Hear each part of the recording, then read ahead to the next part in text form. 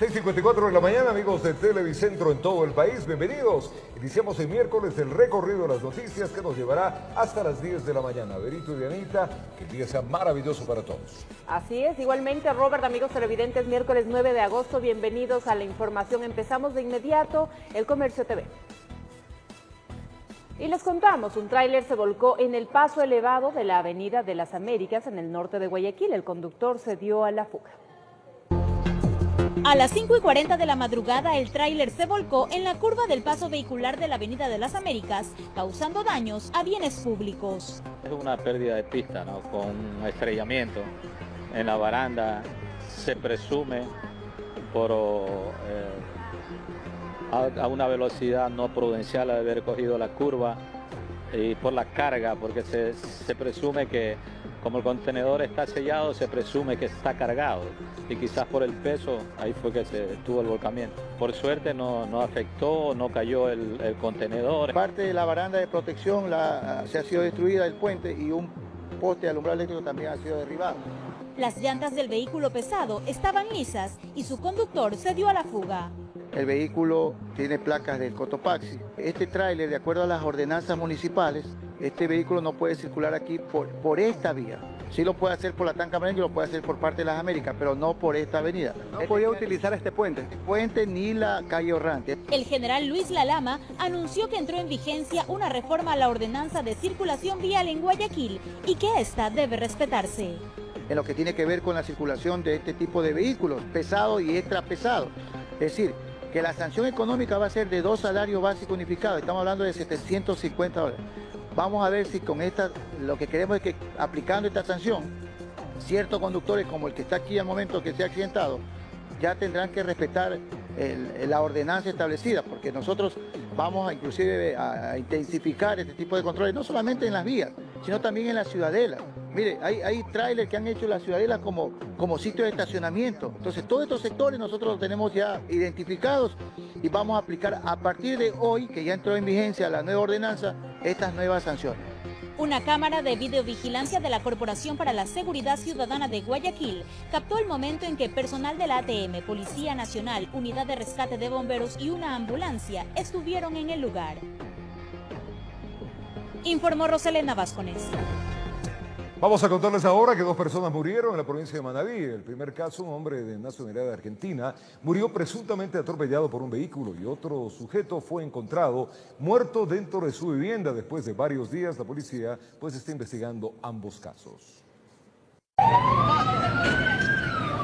Una persona fue encontrada muerta dentro de su vivienda y otra de nacionalidad argentina murió en el Hospital Verde Ceballos de Puerto Viejo. Ambos casos ocurrieron en dos cantones de la provincia de Manabí. Aproximadamente unos 48 horas se presume.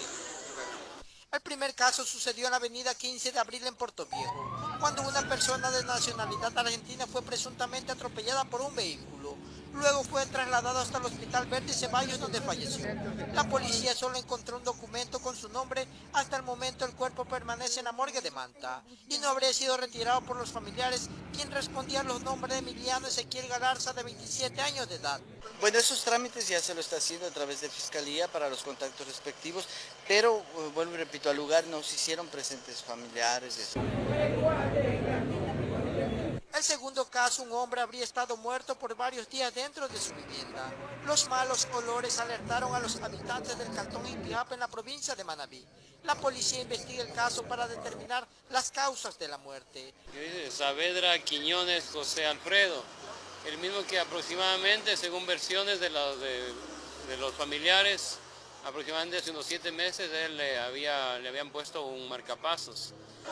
Nos dimos cuenta por lo que no, no lo llamé y no me contestó nada. Curaba lleno cooperativa y pijapas ahí, ahí como los, los informales jalando pasajeros.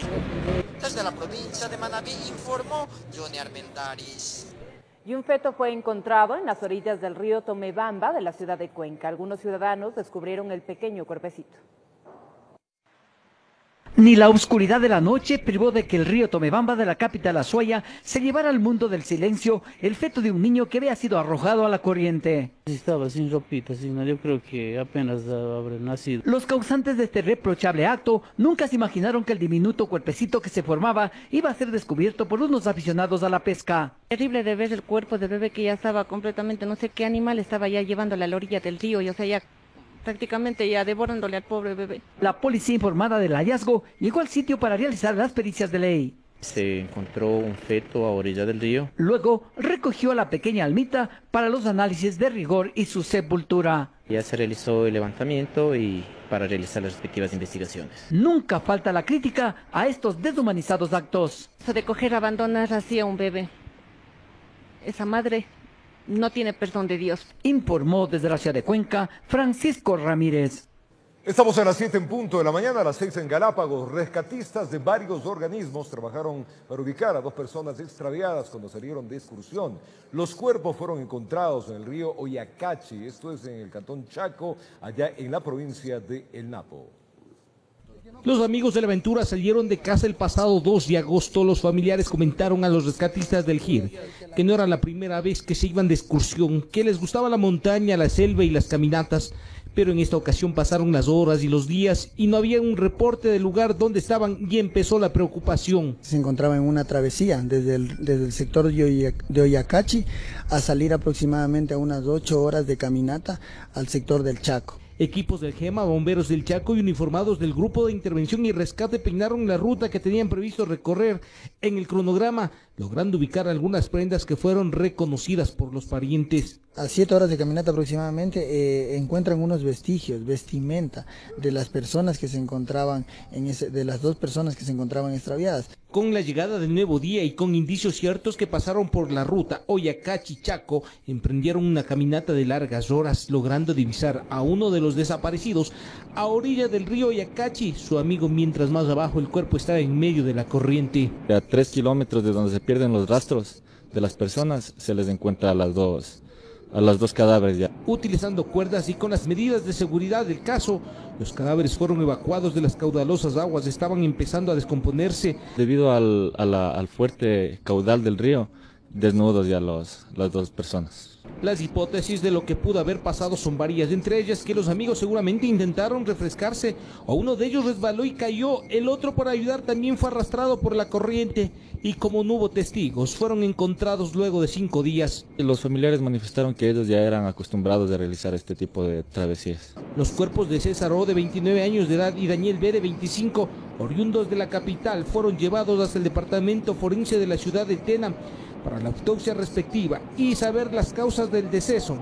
Aunque el cómo aparecieron en el río será un misterio infinito, la tumba se llevó el secreto, informó Iván Casamen. Siete de la mañana con dos minutos, un joven de 23 años de edad, investigado por supuesto caso de femicidio, intentó suicidarse por segunda vez. El sujeto se lanzó del cuarto piso de un hospital de la ciudad de Cuenca. Mientras la familia de Lorena F., joven asesinada el sábado pasado, busca consuelo, el novio de la fallecida, supuestamente responsable del crimen, intentó quitarse la vida lanzándose desde el cuarto piso del Hospital Vicente Corral Moscoso de la capital Azuaya. Superando un poco la custodia que tenía de los policías a los cuales estaba a cargo en su vigilancia, se, la, em, se, había lanzado o se cayó del cuarto piso del hospital. Este acto de autolítico o suicidio se dio justo cuando los familiares de Andrés lo visitaban en el piso de servicio de clínica. En presencia de personal policial e incluso acompañantes familiares del paciente, eh, obviamente opta por esta situación que mencionamos y lamentablemente ocurrió el hecho.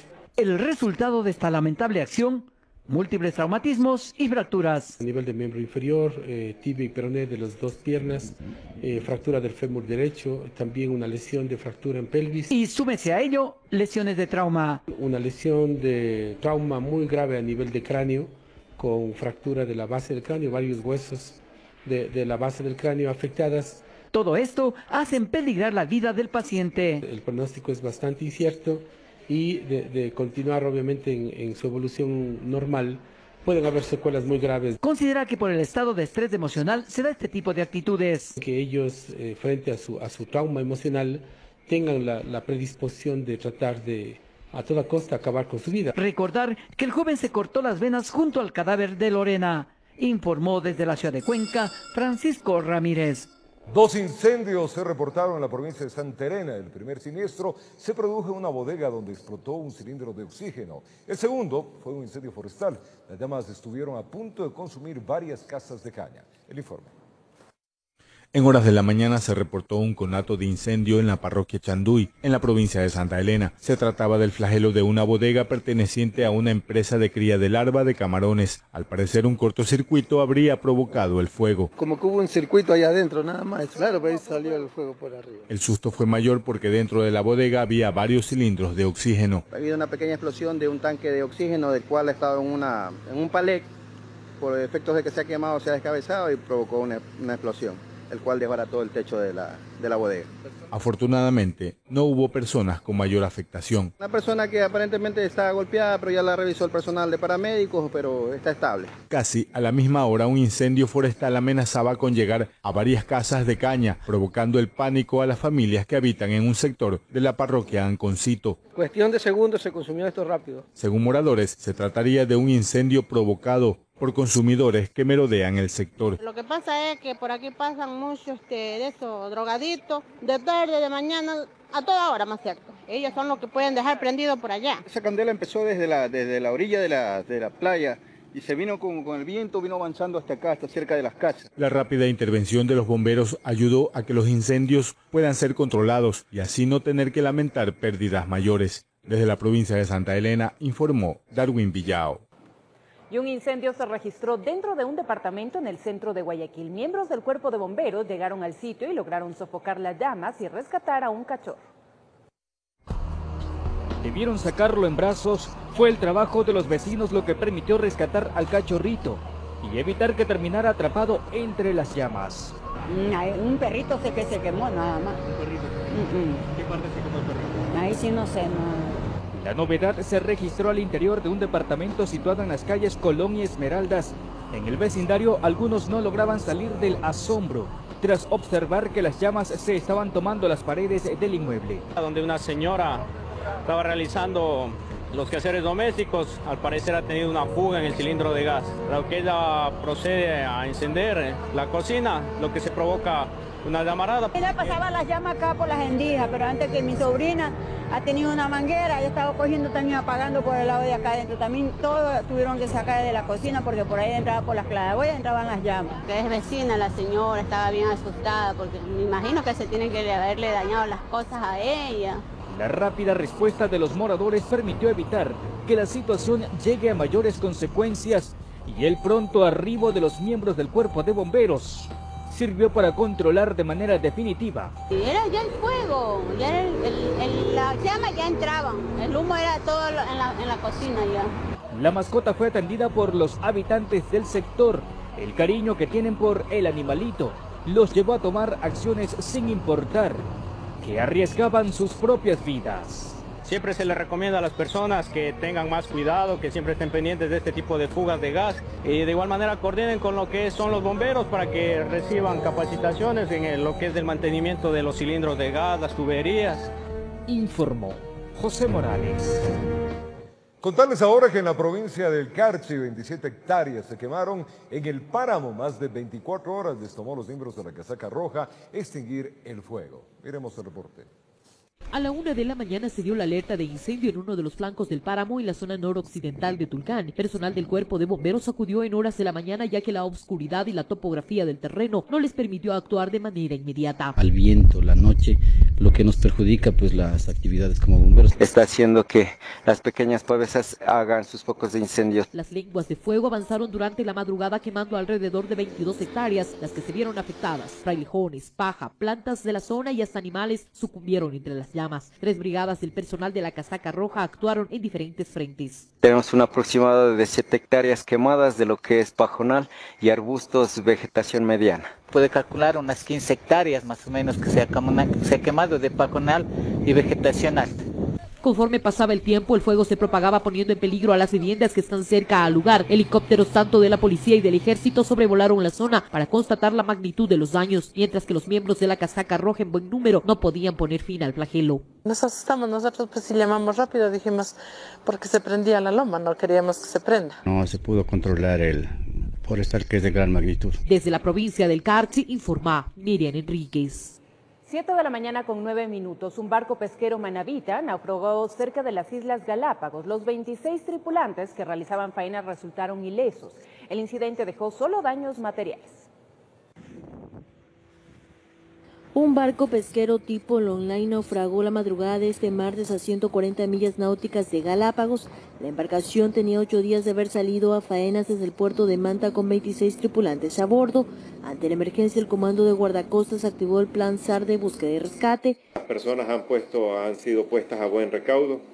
en la maniobra eh, fácilmente se la pudo solventar con eh, la colaboración de las embarcaciones que estuvieron próximas a la embarcación que se encontraba realizando la maniobra de pesca. Según la información preliminar, una falla técnica en el área de máquinas habría originado que la embarcación zozobra en cuestión de horas. Eh, la Armada lo que hizo comunicar a los barcos para que se acercaran a ayudar, los que estaban más cerca, pues logramos eh, achicar el barco con motobombas y, y bueno, Gracias a Dios se solucionó todo el problema. De los 26 tripulantes registrados, 18 estaban a bordo de nueve lanchas. Todos resultaron ilesos, solo se registraron daños materiales. No hay de qué preocuparse, la tripulación, todos los pescadores están bien. ¿Qué tipo de embarcación? Es online. Las autoridades anunciaron que la emergencia fue controlada, ahora coordinan el traslado a tierra de la embarcación y su tripulación. Ya fue solucionada la vía de agua, no está ingresando, ya fue achicado y están viendo en el sentido de si es que los motores encienden o no encienden. Con cámaras Eduardo García desde Manta, provincia de Manabí, informó Wendy Delgado. 7.11 en la mañana, dos personas detenidas y más de mil dosis de cocaína fueron incautadas en un operativo ejecutado por la Policía de Narcóticos y también la Fiscalía, esto en el norte de Guayaquil.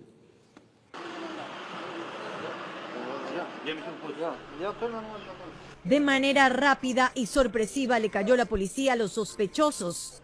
Agentes antinarcóticos y la fiscal a cargo allanaron esta vivienda ubicada en la cooperativa Pancho Jacome en el norte de Guayaquil. Allí, a la vista de todos, se encontraron las dosis de droga listas para el expendio, así como los implementos para pesar y distribuir el alcaloide. Eh, sí, asimismo, mediante la denuncia que presenta la ciudadanía, se logró identificar a los sospechosos y mediante trabajos de inteligencia que duraron aproximadamente, dos meses, se logró hoy día, con orden de allanamiento, proceder a la detención de los ciudadanos y el decomiso de las sustancias sujetas a fiscalización. Los agentes revisaron de arriba abajo, por todos lados en la casa y en los espacios menos esperados siguieron encontrando estos sobres. En total, más de mil dosis de cocaína. El inmueble, en donde según este cartel se vendía hielo, habría sido realmente un importante punto de acopio y distribución del microtráfico de droga. Se ha procedido a la aprehensión de dos ciudadanos y van a ser sujetos a una audiencia de flagrancia para formularles los cargos. el asunto es que ellos van a ser, este, sin duda, como es un delito flagrante, van a ser sentenciados por el delito de tráfico de drogas. Los dos detenidos fueron trasladados al Distrito Policial de la Florida. Informó Marcela Maquilón. ¿Qué tal amigas y amigos de Televicentro? Muy buenos días. Estamos ya en miércoles y como siempre revisando la completa información desde nuestra página web. El gobierno comienza a cuantificar los montos que generarán las medidas de austeridad. El Estado rebajará el 10% del salario de 7.242 funcionarios de alto rango. Entre ellos están ministros, viceministros, subsecretarios, entre otros. En otras noticias, desde el lunes comenzó el proceso de aceptación o rechazo de cupos para acceder a las universidades públicas del país. Según el cronograma de la CENESID, este finalizará el día jueves.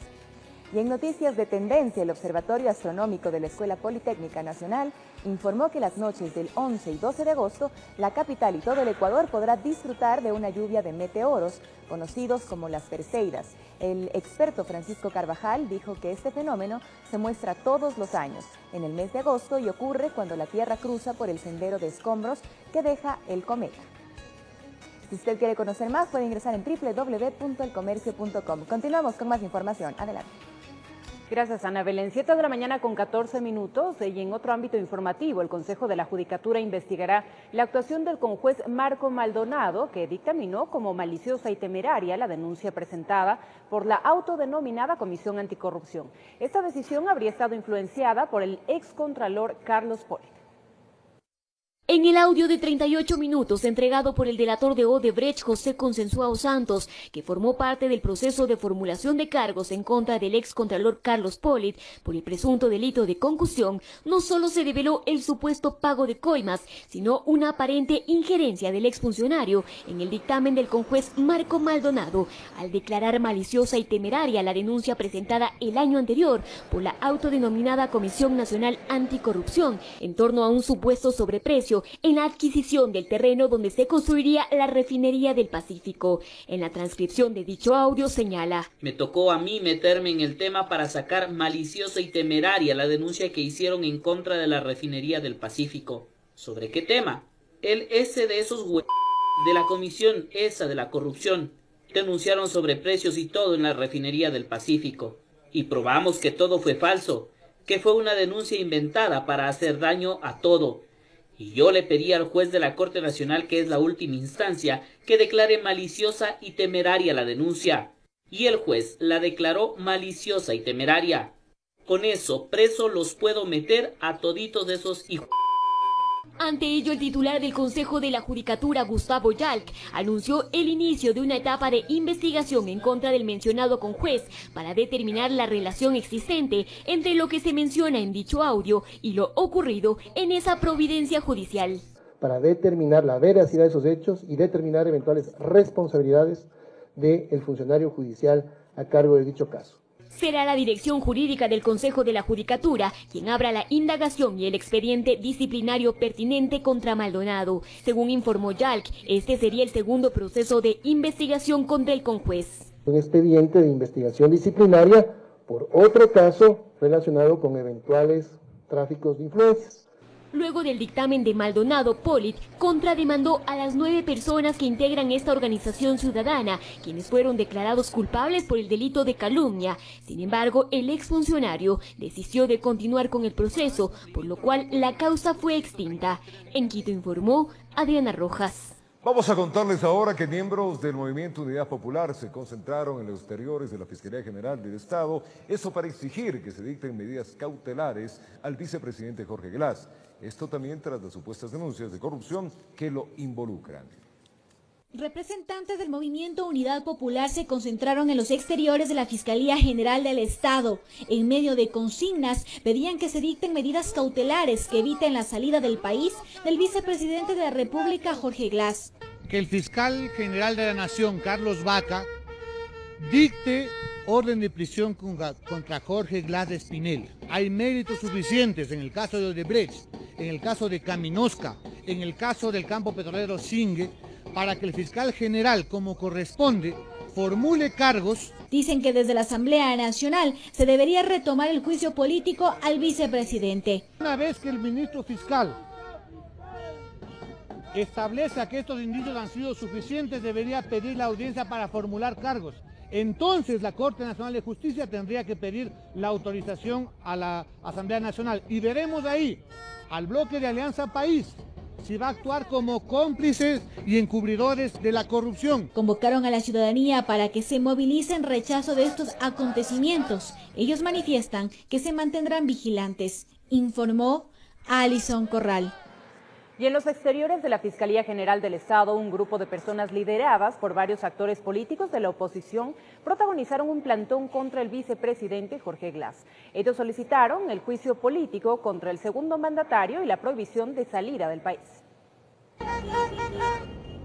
La tarde de este martes 8 de agosto, en los exteriores de la Fiscalía General del Estado, se llevó a cabo un plantón contra el vicepresidente Jorge Glass. Para nosotros, lo fundamental será recuperar lo que han robado y luego la sanción correspondiente para que sea un ejemplo para la futura generación. Aquí actores políticos de la oposición solicitaron a la justicia acoger dos pedidos fundamentales. El primero, que se vincule al vicepresidente a la instrucción fiscal dentro de la investigación de supuestas irregularidades en la adjudicación del bloque Singue. Que de acuerdo al Código Integral Penal, un juez o el fiscal puede ir directamente a la instrucción saltándose la indagación. Y el segundo, la prohibición de salida del país para Jorge Glass. Y que se recoja mi pedido del 26 de diciembre del año anterior en el que le solicité al fiscal que le prohíba la salida del país, porque mañana nos van a salir con el mismo cuento de siempre. Ya nos salieron con ese cuento en el caso de Pedro Delgado, pareja Yanuseli. Cuando ya están en Miami acomodados, entonces ahí comienzan a accionar el sistema de justicia. No puede ser, pues. En el plantón también se pidió a la Asamblea retomar el juicio político en contra de Glass. El CAL tiene que abrir las puertas, el CAL tiene que dar paso para que en el Pleno de la Asamblea Nacional se reciba, tanto del un lado como del otro lado, la defensa. Si Glass no renuncia, es porque si renuncia puede ser enjuiciado directamente, pues sin necesidad de la autorización de la Asamblea. Los participantes del plantón anunciaron que el jueves 10 de agosto realizarán una marcha que saldrá desde la Caja del Seguro a las 5 de la tarde. Su objetivo, protestar por los presuntos casos de corrupción. En Quito informó Andrea Valareso. Luego de las discrepancias en el consorcio encargado de la construcción del metro por la permanencia de Odebrecht en la obra, varios concejales aseguran que el Cabildo viabilizó el trámite y ahora es únicamente decisión de las partes que se concrete a su estructura. Miremos. El pasado 27 de abril, el municipio capitalino autorizó la salida de Odebrecht del consorcio encargado de la construcción de la línea 1 del metro de Quito. Esto tras la solicitud de las constructoras para reformar la alianza. Sin embargo, hace pocos días, a través de un comunicado oficial, Acciona ratificó su compromiso por asumir la totalidad de la obra, mientras la empresa brasileña desmintió la ruptura y ratificó su permanencia en el proyecto. Nosotros como municipio vamos a velar y exigir el estricto cumplimiento de las cláusulas del contrato de construcción del Metro de Quito. Estas discrepancias en torno a la reestructuración del consorcio para las autoridades no influyen en los trabajos ni tiempos de construcción del metro. Según nos ha manifestado la empresa del Metro de Quito, casi no existe un solo funcionario que esté ya eh, articulando o haciendo alguna gestión o trabajo o labor directamente en la obra del Metro de Quito. Esto en razón de que técnicamente Odebrecht ya no tiene la capacidad eh, operativa para poder hacerse cargo de la construcción de esta gran obra en la ciudad de Quito. La obra está muy adelantada, está en muchos de los temas por delante del, del, calendario. Los escándalos de corrupción en los que está inmerso Odebrecht podrían dificultar el financiamiento internacional de cerca de 300 millones de dólares que aún se necesitan para ejecutar el proyecto de movilidad. La brecha que generó el Banco de Desarrollo de Brasil al no poder cubrir los créditos que se habían eh, suscrito con el municipio de Quito y con el Ministerio de Finanzas y eso hace que el municipio tenga ya la obligación en este instante tratar de cubrir esa brecha financiera. En tanto, la empresa Metro de Quito presentará un informe jurídico del consorcio Acciona Odebrecht en la sesión del Consejo Metropolitano prevista para este miércoles, informó Sofía Vintimilla. Contarles ahora que el ministro de Trabajo, Raúl Ledesma, anunció que 7.242 funcionarios sufrirán una reducción del 10% de su salario, esto tras la medida de austeridad que anunció el presidente Lenín Moreno. Tras las medidas de austeridad anunciadas por el presidente Lenin Moreno, ¿qué piensan los expertos? Para Mauricio Pozo, ex candidato a la vicepresidencia por el Partido Social Cristiano y experto en temas económicos, estas acciones son buenas, aunque solo servirían al corto plazo. Hay una duplicación del gasto respecto al PIB, ni siquiera en dólares, porque en dólares ha crecido mucho más. Siendo correcto que se venda un avión, siendo correcto que hay una reducción salarial, siendo correcto que se vendan los inmuebles de inmobiliar, siguen siendo decisiones muy cortas para el problema y el tamaño de lo que estamos hablando. Según el ministro de Trabajo, Raúl Ledesma, la medida de reducción del 10% de los salarios sería a 7.242 trabajadores que perciben un sueldo que va desde los 1.700 a los 4.000 dólares. Eh, son 2.800.000 dólares al mes, es un ahorro de aproximadamente 34 millones al año. El Servicio de Gestión Inmobiliaria del Sector Público anunció que son 333 bienes que se pondrán a la venta, valorados en 107 millones de dólares. Tenemos que obviamente evaluar cuál es el costo del avión, pero para que tengan una idea, el promedio de ventas anuales ha sido de 30 millones por año. ¿no? La idea es en este momento eh, enfocarnos en fortalecer estas ventas y que se recauden mayores recursos. Lo que a criterio de Pozo, en el caso de que se logre su venta, no se recaudará una cantidad que consiga sostener la necesidad actual del Estado en materia económica. Si llegan a recuperar 300 millones, 500 millones, tal vez 800 millones, eso será por una sola vez y de ahí se acabó el activo. Las soluciones más bien deberían ser encaminadas a la reducción del aparato estatal y sobre todo a largo plazo, explica. Si hay una decisión política de concesionar la refinería de Esmeraldas, por ejemplo, hay un ahorro de importación de derivados para el Estado de más de 2 mil millones de dólares. Si traslada parte del gasto de inversión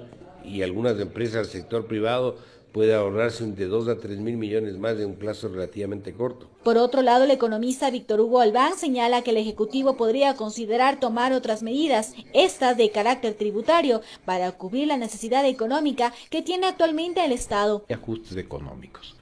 En cuanto a ciertos impuestos indirectos, como son el IVA, como son cierta, eh, la tabla de impuesto a la renta, va a modificarse un poquito pero no hay paquetazo de ninguna manera.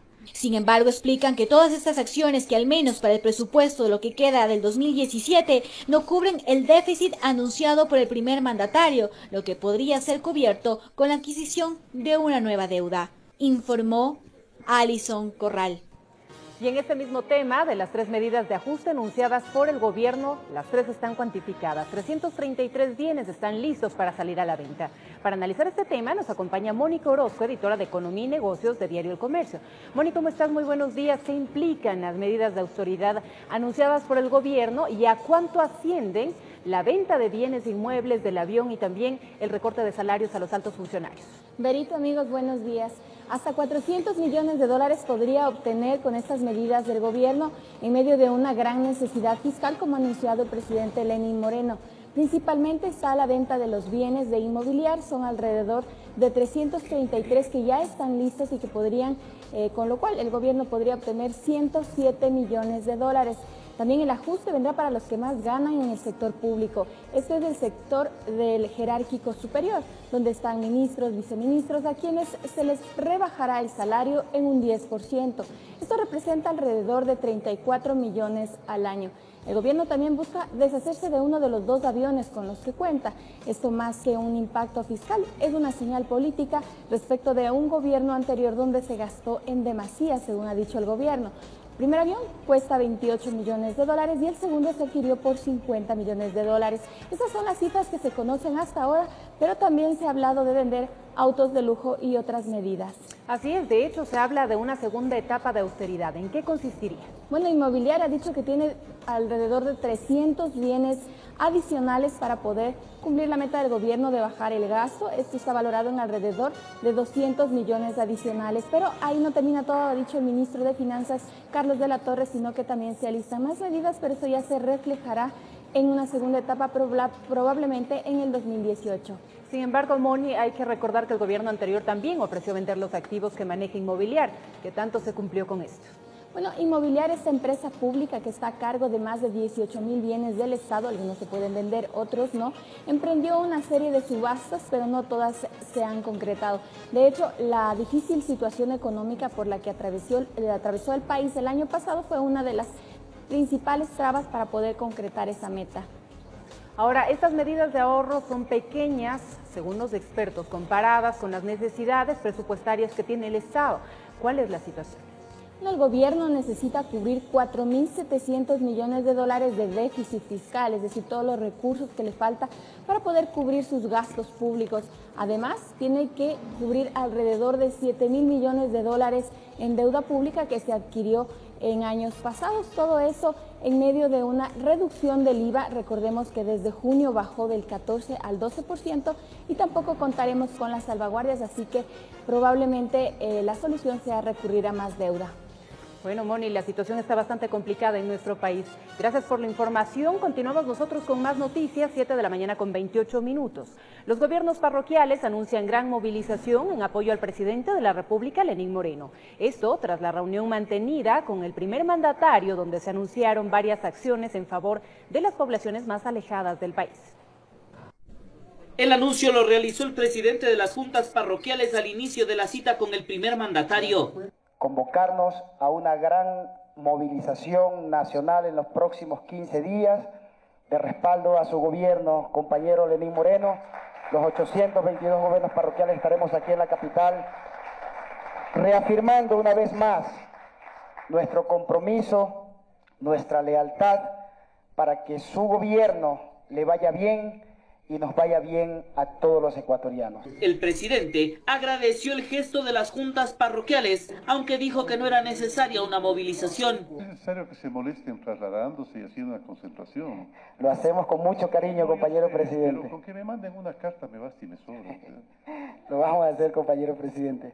En la cita, el presidente de la República hizo al menos dos anuncios importantes y en beneficio de los sectores rurales. Primero, ordenó la suspensión de cualquier proyecto de construcción de nuevos hospitales, que es primordial, dijo, repotenciar los subcentros de salud. He dispuesto a la señora ministra de Salud que deje de construir hospitales gigantescos dentro de las ciudades. Aquellos que, se hayan, que estén proyectados y financiados se lo seguirá haciendo. Pero de ahora en adelante vamos a prestar atención especial en acondicionar, acondicionar, adecentar, equipar con tecnología de punta, con ciencia de última generación, a los centros médicos que francamente en campaña los encontré en condiciones casi deplorables. Eso no puede ocurrir. El segundo anuncio fue la repotenciación de las escuelas. Volvió a criticar a las escuelas del milenio y dijo que deberán ser creativos para ayudar a los jóvenes del sector rural con su educación. Los niños no pueden caminar 12, 15 kilómetros diarios para llegar a una escuela, pues por más de calidad que sea la escuela. Unos 15 kilómetros no caminan ni para ir a ver a la novia, pues. Pero un niño a la escuela es por eso que ha habido deserción escolar. Y es por eso que inclusive se han implementado duchas en las escuelas, para que los niños llegan tan sudados. Eso no puede ocurrir. Los miembros de las juntas parroquiales agradecieron el gesto del presidente, pues dijeron que es un avance importante que ve en beneficio directo de estas poblaciones. Y la articulación que va a tener de manera directa el gobierno conjuntamente con sus ministros, trabajando con Conagopare Nacional a favor de los gobiernos parroquiales y del sector rural. Además, ratificaron su decisión de una gran movilización nacional. Aunque no dan una fecha exacta, dicen que la marcha será a más tardar en 20 días, informó Javier Gallo. Los miembros del partido de gobierno afirman que están buscando un camino de reconciliación y diálogo entre el presidente y el vicepresidente de la República. Aunque no se ha anunciado una fecha exacta, se afirma que se trabaja para concretar una reunión entre los dos mandatarios. El vicepresidente del movimiento y uno de los delegados de esta comisión que busca un camino de reconciliación entre el presidente y el vicepresidente de la República asegura que no pierden las esperanzas de que con un intenso diálogo se puedan limar asperezas. Es posible eh, trabajar eh, con ellos dos para alcanzar otra vez un un nivel de acercamiento y de diálogo entre nuestros compañeros. Dice que la situación actual es compleja, pero que se ha reconocido tras los diálogos que hubo malinterpretación en las expresiones de lado y lado que desembocaron en este complejo panorama. El, problema no es solamente no es que haya diferencia, el asunto es cómo procesamos esas diferencias. Yo estoy seguro que las vamos a poder, a poder procesar adecuadamente. En país reconocen que la carta del vicepresidente donde acusa a Lenín Moreno de institucionalizar la corrupción fue inadecuada. Y me parece que eh, al, conocer, digamos, una información más precisa, él eh, pudiera reconsiderar lo que escribió. De que no coincido en lo absoluto con los términos en los que se expresaron sin dudas algunas diferencias.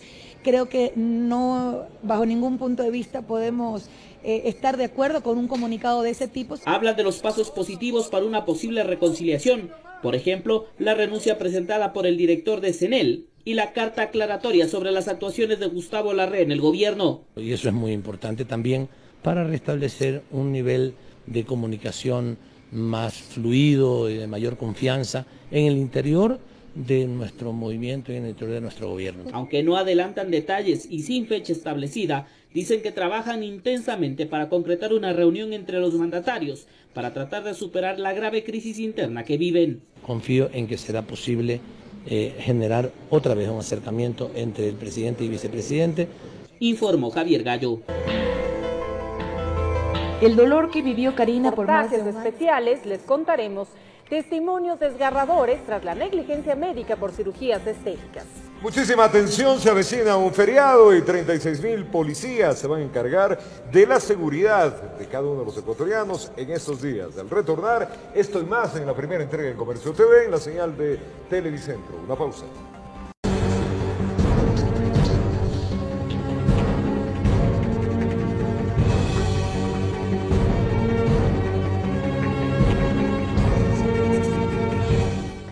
Atención al siguiente reportaje. En los últimos años en el Ecuador se han dado varios casos de negligencia médica de personas que se han sometido a cirugías plásticas. A continuación les presentamos varios testimonios de quienes han sido víctimas en manos de personas o centros no calificados.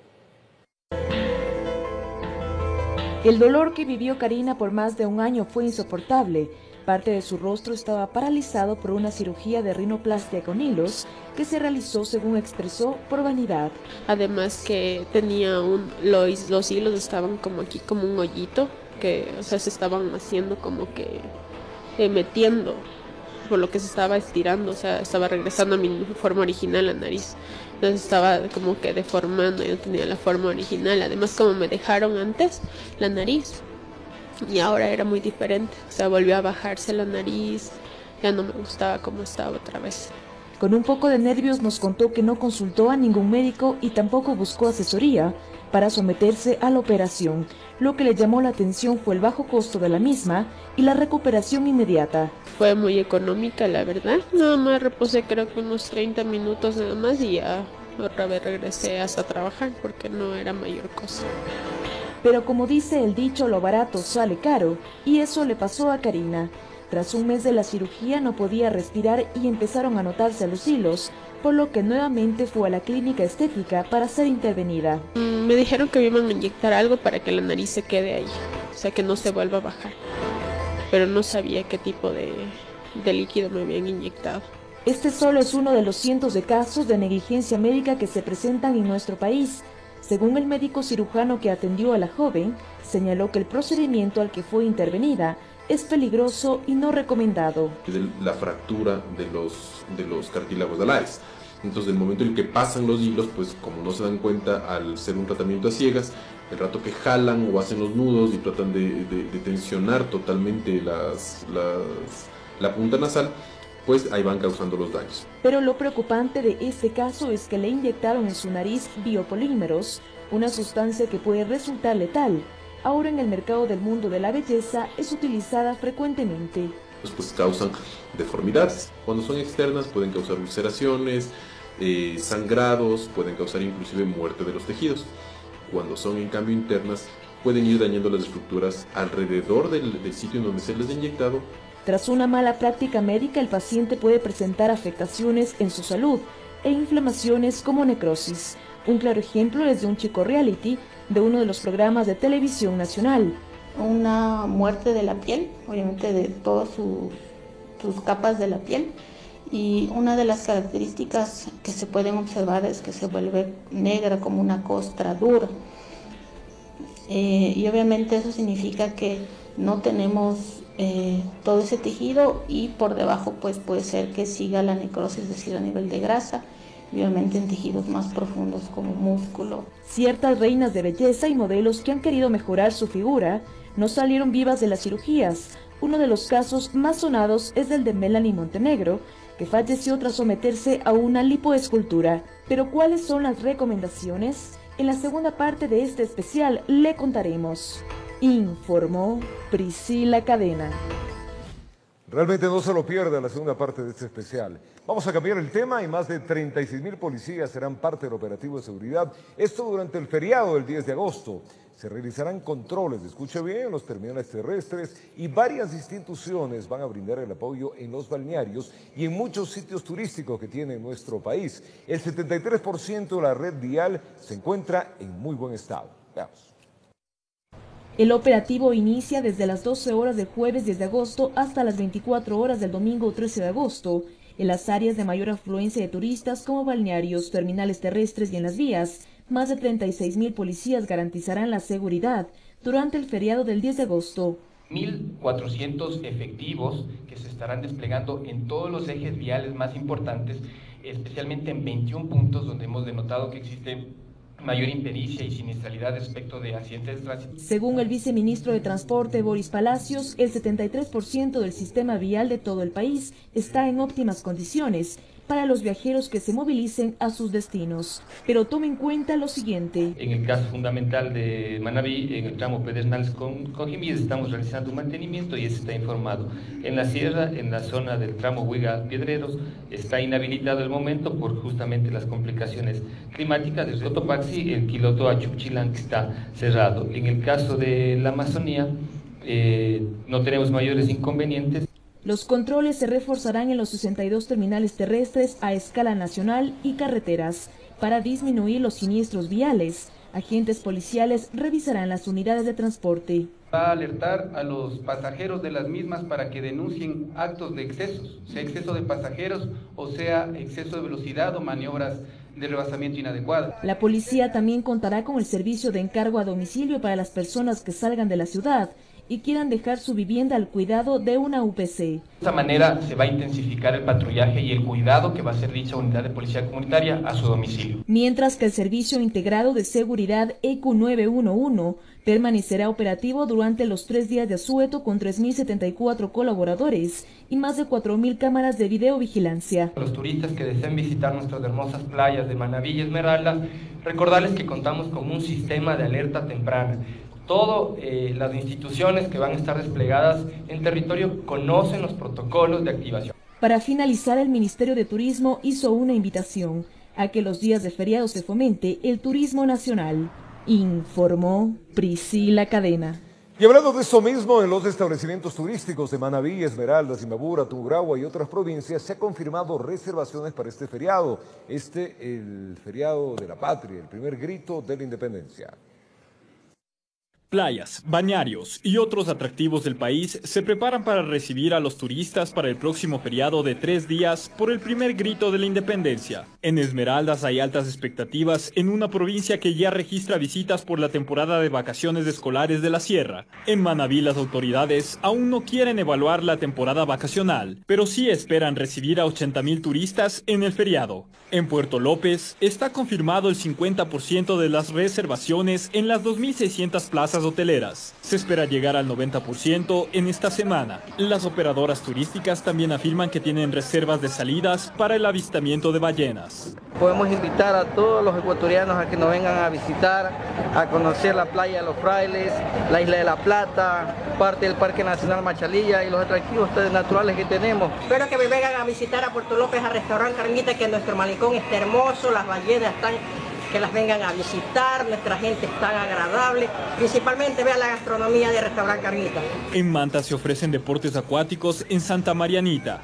En ese cantón se han reservado el 40% de las 5.500 plazas hoteleras. En Bahía de Caracas hay un 20% de reservas de las 800 plazas hoteleras. Para nosotros es muy esperanzador que julio y agosto es una temporada buenísima nuestra, porque los quiteños son los primeros visitantes de la ciudad. Y obviamente también los hermanos de la sierra de las otras provincias. ¿no? La sierra también espera a los visitantes. Imbabura ofrece turismo cultural, gastronómico y de aventura. El mercado de ponchos y la cascada de Peguche son los sitios a donde más llegan los turistas en los feriados. También está Cotacachi y Atuntaki, con sus industrias en cuero y telas. Les invitamos a todos los turistas para que puedan visitar Yaguarcocha, ya ven que encuentran muchísimas cosas para hacer, desde paseos en botes, en paseos en botes de pedal, también los botes chocones. En la Sierra Centro se planifican varias actividades en Ambato, La Tacunga y Baños, donde se registra un 75% de reservaciones en sus 7.800 plazas hoteleras. Y en la Amazonía, Pastaza celebra el mes del turismo con varios programas. Delegaciones de varias nacionalidades asistirán este sábado al Malecón Boyacu, en Puyo, para recordar juegos ancestrales. Con un trabajo periodístico de la red de corresponsales del comercio, informó Roberto Peñafiel.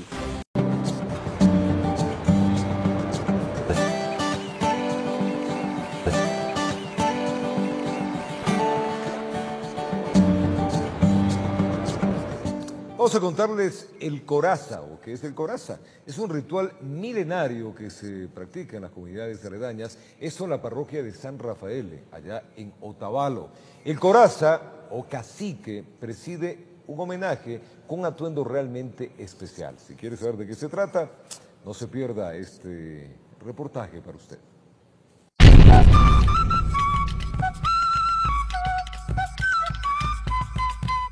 La fiesta del corazón es un evento muy importante en San Rafael en donde se celebra y se agradece a la tierra por las bondades y cosechas recibidas. El personaje principal es el coraza, quien es una especie de cacique y quien preside las celebraciones. El coraza es vestido con un atuendo especial y Margot Oña, bordadora del traje, nos cuenta más sobre este proceso de elaboración. Formamos parte de la Asociación de Turismo Rural Corazanía, una asociación que está esperando con los brazos abiertos a todos los turistas nacionales y extranjeros. El coraza eh, no se conoce con exactitud sus orígenes, pero se piensa que viene desde hace mucho tiempo en las ceremonias que realizaban nuestros indígenas a los diferentes curacas a orillas del lago San Pablo. La vestimenta que vamos a utilizar es el pantalón. La señora vestidora es la encargada de confeccionar y de vestir al coraza. Coraza significa ser el rey, amo o señor de su comunidad. Bueno, esta festividad quedó abandonada muchos años por nuestros indígenas, ya que como les decía al inicio, demandaba de mucho dinero y también por el cambio de religión, la gola. Bueno, las vísperas de la festividad, los indígenas acudían donde la señora vestidora a realizarse, a realizarse los churros. Así recibe a sus invitados en la casa. Este es el bastón que representa el poder durante ese tiempo. Para realizar esta festividad, el prioste contrataba una comitiva formada por cuentayos, quienes se encargaban de organizar todo lo que es la fiesta. Es así como va vestido para el pase del corazón.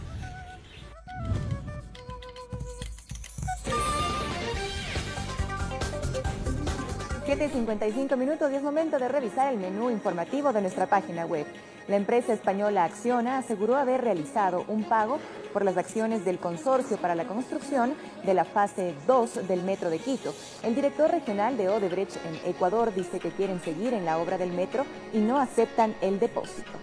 En noticias de política, el presidente del Consejo de la Judicatura, Gustavo Yalc, dijo que se abrió una investigación contra el conjuez Marco Maldonado. El magistrado calificó como maliciosa y temeraria una denuncia que pasaba sobre el ex contralor. En noticias de nuestra sección de tendencia, el hábito de la lectura se incentiva con juegos, adivinanzas, dramatizaciones y más actividades que hacen que la actividad resulte divertida. El plantel St. Patrick abre sus puertas y muestra cómo ha logrado que los alumnos lean hasta en el recreo. Si usted quiere conocer más de esta y otra información, puede ingresar en www.elcomercio.com y mantenerse actualizado durante esta jornada. Nosotros continuamos con más información, no se despegue de la señal de Televicentro. Aquí es Anita Belén, es momento de irnos a una pausa comercial, pero en pocos minutos regresamos con el primer noticiero de la comunidad y novedades. Con el objetivo de precautelar la seguridad ciudadana, el municipio de Quito suspendió la realización de fogatas y asaderos en los parques de la ciudad. Y también muchísima atención el proceso de regularización de taxis inicia el próximo lunes 14 de agosto. Estas y otras informaciones importantes en el primer noticiero de la comunidad, junto a usted en minutos en la señal de Televicentro. Ya venimos.